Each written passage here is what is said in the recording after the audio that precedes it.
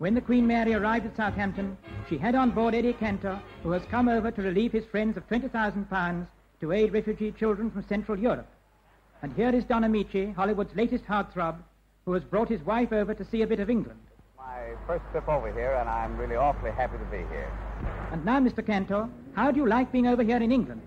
I love being here in England, and if I ever find any sunshine over here, will I be surprised? And in true summer